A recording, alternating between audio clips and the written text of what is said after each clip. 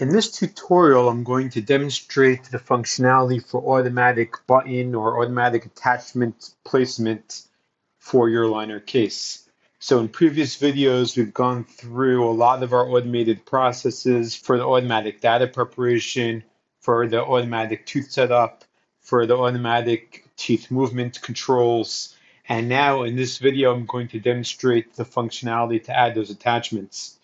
So whether you're going to be proceeding to exporting just the models, or you're going to be designing the printable aligners or the aligner trim curve.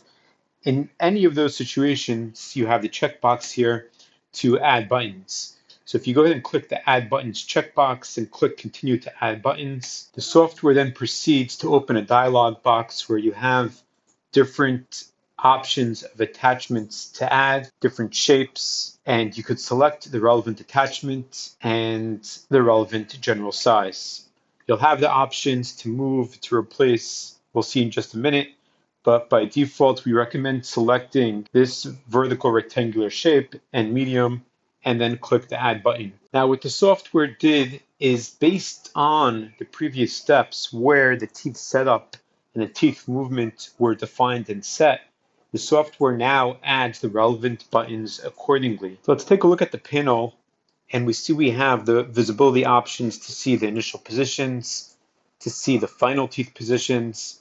We have the option of adjusting the automatic placement that was just done to either have gingival placement, mid placement as we have by default, or incisal placement of the buttons. We have controls here to remove all, which will remove all the buttons, and replace all that will allow all the buttons to be replaced with a different shape. We also have on tooth controls for the particular button.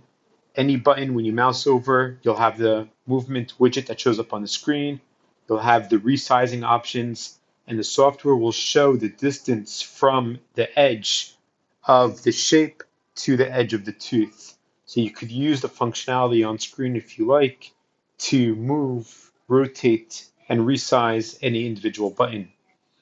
In addition, if you right click on a particular attachment, you have options to duplicate, which will then duplicate the same shape and allow you to place it on a different tooth, replace with a different shape, and remove accordingly. Once the positioning have been finalized, simply click continue to export to proceed with various export options to save the relevant files.